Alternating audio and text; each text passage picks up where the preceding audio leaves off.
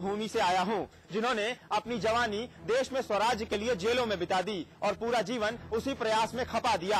हमें इन्हीं के अथक प्रयासों से स्वराज मिला। लेकिन आज आज़ादी के छह दशक से ज़्यादा समय बीत जाने के बाद भी देश स्वराज के लिए इंतज़ार कर रहा है।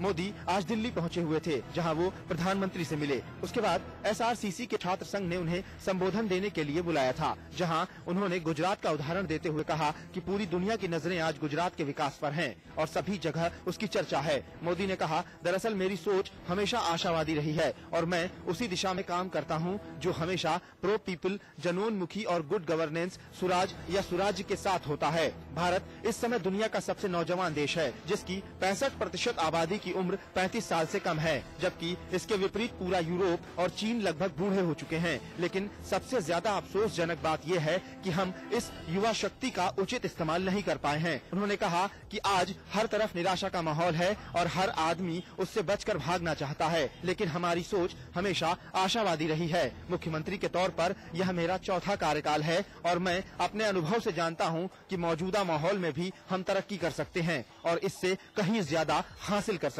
हैं। यही कॉन्स्टिट्यूशन यही रूल्स एंड रेगुलेशन यही मुलाजिम यही फाइलें यही दफ्तरें यही लोग इसके बावजूद भी हम आगे बढ़ सकते हैं। राम नाम का जाप करके मिशन 2014 को पार लगाएगी भारतीय जनता पार्टी। राजनाथ सिंह पहुँचे कुंभ नगरी लगाई संगम में आस्था की डुबकी। संगम में डुबकी लगाकर 2014 में जीत की कामना करने के बाद विश्व हिंदू परिषद के केंद्रीय मार्गदर्शक मंडल की बैठक में राजनाथ सिंह पहुँचे और वहाँ पर राम मंदिर के मुद्दे पे कहा कि राम मंदिर हमारी प्रतिबद्धता है इसमें कहीं दो रानी वो लोकप्रिय नेता है इसमें कहीं जो भी लोकप्रिय नेता होगा उसके लगेंगे अध्यात्म नगरी कुंभ मेले में विश्व हिंदू परिषद द्वारा जन कल्याण के लिए बुलाए गए धर्म संसद की तैयारियाँ पूरी कर ली गई हैं। इलाहाबाद के कुंभ मेले में विश्व हिंदू परिषद के धर्म संसद में, जिसमें करीबन पौने 300 साधु संत और धार्मिक विद्वान हिस्सा लेंगे। कुंभ मेले में होने वाले संत सम्मेलन और धर्म संसद के लिए प्रस्ताव तय किए जाएँगे। वीएचपी पदाधिकारियों के मुताबिक धर्म संसद की बैठक में खास तौर पर गंगा प्रदूषण, अयोध्या में राम मंदिर निर्माण, धर्मांतरण व लिंग अनुपात में बढ़ते फ़र्क और सनातन धर्मियों की नैतिक मूल्यों में कमी जैसे मुद्दों पर चर्चा की जाएगी। यह पहली बार होगा जब बीएचपी महिलाओं से जुड़े मुद्दों पर भी खास तौर पर चर्चा करेगी। इनमें कन्या भ्रूण हत्या अहम होगा। बीएचपी गंगा और राम मंदिर को लेकर करीब साल भर के जन जागरण कार्यक्रम जारी कर सकती है। इसके अलावा मंदिर निर्माण के लिए संसद में कानून बनाने को लेकर केंद्र सरकार को कुछ महीने का अल्टीमेटम भी दिया जा सकता है। विश्व हिंदू परिषद द्वारा बुलाए गए धर्म संसद में कल शंकराचार्य के अलावा कई साधु संत और विश्व हिंदू परिषद के कई बड़े नेता भी शामिल होंगे।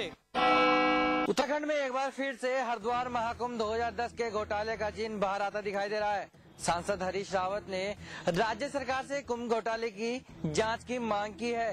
हरिद्वार के सांसद हरीश रावत का कहना है कि कुंभ जैसे धार्मिक मेले का राजनीतिकरण ठीक नहीं।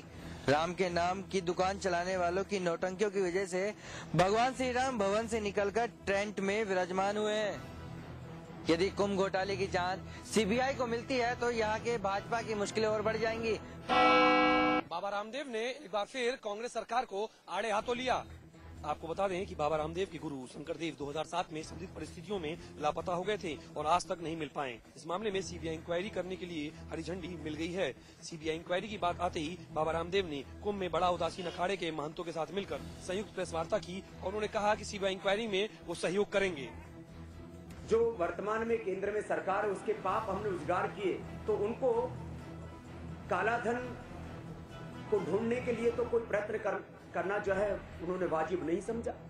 भ्रष्टाचार के ऊपर तो कोई कार्रवाई करना वाजिब नहीं समझा। हमारे ऊपर डबल सीबीआई जाँच और करीब सौ से ज़्यादा और दूसरी जांचें sale tax income tax service tax ED से लेकर के जो भी सरकार का पूरा तंत्र होता है वो षड्यंत्र के तहत एक सन्यासी के पीछे लगा दिया जाता है। मगर बाबा रामदेव के चेहरे पर आज सीबीआई इंक्वायरी का दर्द साफ़ देखने को मिला। उत्तर प्रदेश के मुख्यमंत्री अखिलेश यादव ने कुंभ पर हो रही सियासत पर फ़िलहाल चुप्पी साध ली है। अखिलेश यादव ने कहा है कि जो भी राजनीतिक दल कुंभ पर जो भी सियासत कर रहे हैं वो करते रहे। साथ ही अखिलेश ने ये भी कहा है कि कुंभ पर किसी राजनीतिक दल या उसके नेता के बारे में फ़िलहाल अभी कुछ कहना ठीक नहीं है। कुंभ, यानी आस्था का कुंभ। लेकिन इस बार कुंभ पर चढ़ गया है सियासत का रंग। कुंभ में जहाँ एक तरफ़ करोड़ों श्रद्धालु आस्था की डुबकी लगा रहे हैं तो वहीं सियासतदान लगा रहे हैं सियासत की डुबकी। सभी दल कुंभ को सियासी बनाने में जुटे हैं। कांग्रेस के एक होर्डिंग में तो सोनिया गांधी और राहुल गांधी की तुलना भगवान से कर दी गई है। तो वहीं भारतीय जनता पार्टी एक बार फिर कुंभ पर राम नाम की राजनीति करती नज़र आ रही है। यही नहीं, पार्टी में कट्टर हिंदू नेता की छवि रखने वाले नरेंद्र मोदी भी कुंभ में हिंदुत्व की डुबकी लगाएँगे। लेकिन सत्ताधारी समाजवादी पार्टी सियासी बयानबाजी से किनारा कस रही है। मुख्यमंत्री अखिलेश यादव ने कहा है कि अभी किसी दल के बारे में कुछ भी कहना वाजिब नहीं होगा। साथ ही अखिलेश ने ये भी कहा कि कुंभ में सभी वर्गों का जुड़ाव है। तो तुलना तुलना तो नहीं होना चाहिए। अब जो महापुरुषों से तुलना किसी की नहीं की जा सकती। है और रोका भी नहीं जा सकता अपने अपने हैं। और देखिए, ये तो नहीं लगाना चाहिए। जो वहाँ का प्रशासन है देख रेख में, उन्हीं के लगाना चाहिए। और देखिए, ये तो साधु संतों का मेला है। कुंभ है। ये छह साल बाद, आज कुंभ और बारह साल बाद कुंभ। तो मेला है। तो उसमें गंगा मैया के सब लोग हैं? ना है? हाँ सियासत न हो बस ठीक। समाजवादी पार्टी के कद्दावर नेता शिवपाल यादव ने कहा है कि कुंभ साधु संतों का मेला है न कि सियासत का केंद्र। एक तरफ़ जहाँ कांग्रेस के नेताओं की भगवान से तुलना को शिवपाल ने गलत बताया है तो वहीं नेताओं पर चुटकी लेते हुए शिवपाल ने ये भी कहा है कि नेता कुंभ में डुबकी लगाकर अपने पाप भी धो सकते हैं। मध्य प्रदेश में सरकारी अधिकारी और कर्मचारियों के घर लोकायुक्त की छापेमारी जारी है। लोकायुक्त और पुलिस विभाग की टीम ने फॉरेस्ट ऑफिसर वीके सिंह के घर छापेमारी की है। आरंभिक जानकारी के मुताबिक, इस छापेमारी में फॉरेस्ट ऑफिसर के पास से करीब 45 करोड़ से ज़्यादा की संपत्ति का पता चला है। पुलिस को बीके सिंह के पास से मध्य प्रदेश के सीहोर बुधनी और उत्तर प्रदेश के जौनपुर में 400 बीघा ज़मीन के कागजात मिले हैं। इसके अलावा उत्तर प्रदेश में ही मैरिज गार्डन के अलावा दस हज़ार स्क्वायर फीट का मकान मिला है। वाराणसी में होटल इन्वेस्टमेंट, सीहोर में फार्म हाउस और अन्य संपत्तियों के कागजात भी बरामद हुए हैं। पुलिस को इनके दोनों घरों से सात लाख रुपए कैश और लाखों के गहने भी बरामद हुए हैं। राज्य के सरकारी अफसरों के पास करोड़ों रुपए की अवैध संपत्ति मिलने का यह पहला मामला नहीं है। बीते दो सालों में लोकायुक्त के दर्जनों छापों के दौरान कई सौ करोड़ की काली कमाई का खुलासा हो चुका है। मंगलवार को भोपाल के बिजली विभाग के हेड कलर के यहाँ करीब 40 करोड़ से ज़्यादा की संपत्ति का खुलासा हुआ है। अर्जुन दास लालवाड़ी के यहाँ करीब चार मकान, बारह दुकानें और कुछ अन्य कागजात भी बरामद हुए हैं। संगम की रेती पर लगे आस्था के कुंभ में अजब गजब बाबाओं का भी जमावड़ा है। ऐसे ही एक बाबा अग्नि साधना के ज़रिए देवी सिद्ध कर जगत कल्याण का बीड़ा उठाए हुए हैं। इलाहाबाद के कुंभ क्षेत्र में पालने में झूल रहे ये हैं अवधूत, विश्वेश्वरानंद। ये यहाँ जगत कल्याण की कामना लिए आए हैं। लेकिन आप सोच रहे होंगे कि फिर ये आराम से बैठकर झूले पर क्या कर रहे हैं? लेकिन हम कहेंगे कि बाबा इसी पर बैठकर देवी को प्रसन्न करते हैं। लेकिन जिस झूले पर बैठकर बाबा देवी को खुश करने की कोशिश कर रहे हैं, उस पर कोई आम इंसान बैठने की सोच भी नहीं सकता। क्योंकि जिस जगह बाबा आसन लगाकर माला जप रहे हैं वो नुकीली, छोटे भालों से भरा पड़ा है। और तो और बाबा के झूले के नीचे आग जल रही है। सोचकर ही आपको लगा होगा कि बाबा क्या अपनी जान देने पर आमादा हैं। लेकिन ये बाबा की हट साधना का एक अहम हिस्सा है। और बाबा इसी तरह 11 दिन तक 6 घंटे नुकीली किलो पर बैठकर अग्नि की साधना करेंगे। बाबा का कहना है कि वो देवी को खुश कर विश्व कल्याण का काम करेंगे। इस साधना का प्रयोजन है केवल सनातन धर्म की आस्था, विश्वास, निष्ठा जो सारी सृष्टि में उपहास हो रहा है, जो हमारे धर्म पे बार बार उंगलियाँ उठती हैं, उस उंगली को रोकने के लिए ये महाशक्ति की महासाधना हो रही है। बाबाओं के तिलिस्म को समझना इतना आसान तो नहीं है, लेकिन जिस शिद्दत के साथ बाबा अग्नि पर साधना कर रहे हैं, उसे देखने के लिए बड़ी संख्या में श्रद्धालु जुट रहे हैं। ज़ाहिर सी बात है, बाबा ने जो बीड़ा उठाया है, वो है जगत कल्याण का तो श्रद्धालु जुटना लाजमी है। प्रदेश सरकार ने राज्य की आम जनता पर महँगाई का एक और बोझ डाल दिया है। जी हाँ प्रदेश सरकार ने चुपचाप रसोई गैस में वैट बढ़ा दिया है और जनता को हवा भी नहीं लगने दी। वही हालात यह थे कि वित्त मंत्री को इस फैसले पर अपनी अनभिज्ञता ही जताती रही। इसे विडम्बना नहीं तो और क्या कहे? केंद्र सरकार और पेट्रोलियम कंपनी ने पहले से आम जनता की कमर तोड़ रखी थी। वहीं अब राज्य सरकार ने भी रसोई गैस में पाँच प्रतिशत वैट बढ़ाकर आम जनता की कमर तोड़ दी है। जी हाँ जो रसोई गैस सिलेंडर अभी तक चार रूपए में मिल रहा था, वो अब चार रूपए में मिलने लगा है। सरकार द्वारा आधी रात से ही सभी गैस एजेंसियों को इसके निर्देश दे दिए गए थे। जिसके बाद सुबह, अब आम जनता जब गैस लेने पहुँची तो उन्हें इक्कीस रूपए महँगी गैस मिली, जिसे लेकर वे हक्के बक्के रह गए। आपको बता दें कि टिहरी उपचुनाव के दौरान सरकार ने रसोई गैस पर वैट खत्म कर दिया था, लेकिन अब उसे फिर से बढ़ा दिया गया है। आम जनता ने सरकार के इस फैसले पर जमकोर विरोध जताया है। वहीं गैस एजेंसियों के मालिकों के अनुसार सरकार ने उन्हें आधी रात से ही रेट बढ़ाने के निर्देश दे दिए थे। वहीं प्रदेश के वित्त मंत्री से जब पूछा गया कि आखिरकार किस आधार पर इस वैट को बढ़ाया गया है तो इसके बारे में पहले से सूचना क्यों नहीं दी गई? लेकिन इंदिरा हृदय ने तो इस बारे में कोई जानकारी होने से ही साफ़ इनकार कर दिया। हालाँकि बाद में प्रदेश के मुख्यमंत्री ने बताया कि प्रदेश की आर्थिक स्थिति को देखते हुए गैस सिलेंडरों पर वैट लगाया गया है। इस पर भी तुर्रा यह मारा गया कि अन्य राज्यों में अपेक्षा रेट कम है उत्तराखंड में।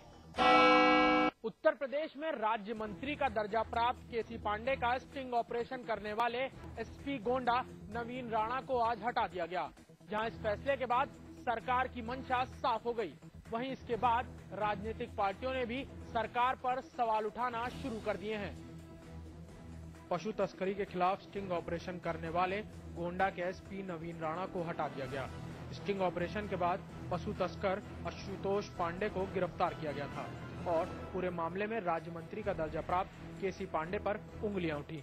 गन्ना शोध संस्थान के उपाध्यक्ष केसी पांडे ने तस्कर की सिफारिश की थी, जिसकी जाँच चल रही थी। ऐसे में नवीन राणा को हटाए जाने पर सियासत भी शुरू हो गई है, जहाँ सभी राजनीतिक पार्टियों ने इस बात पर साफ़ तौर पर समाजवादी पार्टी पर सीधी उंगलियाँ उठाई हैं कि वो अपने मंत्री को बचाने में किसी भी हद पर जाने को तैयार हैं और साथ ही एसपी गोंडा को हटाए जाने पर उनकी ये मंशा भी साफ़ दिख रही है कि चाहे जो हो जाए, ये पूरा मामला ही ठंडे बस्ते में तब तक रहेगा जब तक उनको उनका मंत्री प्यारा है।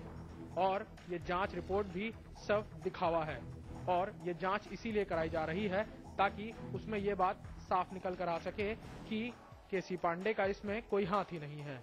जहाँ एकाएक सरकार के इस रवैये के बाद प्रशासनिक अधिकारी भी इस बात पर कुछ भी बोलने को नहीं तैयार हैं, वहीं सियासी हल्फों ने भी इस बात पर सपा सरकार को घेरना शुरू कर दिया है।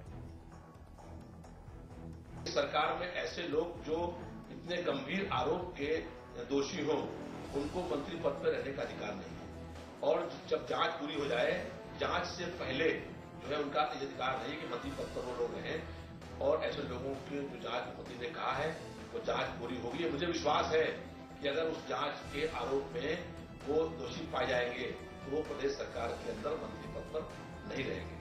जहाँ इस स्टिंग ऑपरेशन के बाद समाजवादी पार्टी सरकार की मुश्किलें बढ़ती दिख रही थी, वहीं आज के फैसले के बाद सपा सरकार ने ये बात साफ़ कर दी है कि चाहे कुछ भी हो जाए, वो अपने मंत्री को बचाए रखेंगे। उत्तराखंड में सबसे ज़्यादा तादाद सीमांत और छोटे काश्तकारों की है, लेकिन भू स्वामित्व में अस्पष्टता और सिस्टम का अभाव इन किसानों को कर्ज मिलने में सबसे बड़ी बाधा बन रहा है। यह बात देहरादून में आयोजित हुई उत्तराखंड राज्य आधारभूत संरचना और क्रेडिट नामक सेमिनार में सामने आई, जिसका आयोजन नाबार्ड यानी राष्ट्रीय कृषि एवं ग्रामीण विकास बैंक ने किया था। सूबे की वित्त मंत्री डॉक्टर इंदिरा हृदय ने इस बैंक क्रेडिट सेमिनार का उद्घाटन किया। इस मौके पर नाबार्ड की ओर से पहली बार तैयार किया गया उत्तराखंड स्टेट फोकस पेपर पेश किया गया। नाबार्ड के महाप्रबंधक का कहना है कि उत्तराखंड में भू स्वामित्व ऋण प्रवाह में सबसे बड़ी बाधा बन रहा है। दरअसल ज़मीन किसी और के नाम होती है और उसको जोता कोई और है, जिसके चलते बैंक यहाँ के काश्तकारों को कृषि समेत अन्य ऋण देने में हिचकते हैं। जबकि आंध्र प्रदेश में सरकार ने ज़मीन जोतने वाले किसानों को सर्टिफिकेट देकर लोन दिलाने की व्यवस्था की है। सूबे की वित्त मंत्री डॉक्टर इंदिरा हृदय का कहना है कि नाबार्ड की संस्तुतियों पर सरकार गंभीरता से गौर करेगी। आपको बता दें कि देश के राष्ट्रीय औसत की तुलना में उत्तराखंड में भूजोत का आकार बेहद कम है। इसलिए मौजूदा रकबे में राज्य सरकार को सिस्टम सुधार कर कृषि और काश्तकारों के समुचित विकास के लिए वक्त रहते सिस्टम में सुधार करना होगा। मेरठ के थाना सिविल लाइन क्षेत्र से छह दिन पूर्व गायब हुए एक बच्चे का पुलिस अभी तक कोई सुराग नहीं लगा पाई। बच्चे के परिवार वालों ने पुलिस पर लापरवाही का आरोप लगाया है। मेरठ के थाना सिविल लाइन क्षेत्र की इमलियान कॉलोनी से एक कपड़ा व्यापारी महराजुद्दीन का चार साल का बेटा लुमान 31 जनवरी की शाम को गायब हो गया था। व्यापारी की माने तो घटना के बाद ही उन्होंने थाने में मामला दर्ज करा दिया था। लेकिन